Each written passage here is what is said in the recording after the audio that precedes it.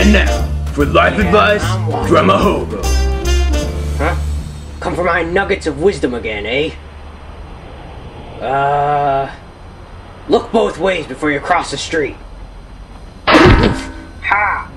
Or you could get hit. Now go do whatever it is you people do.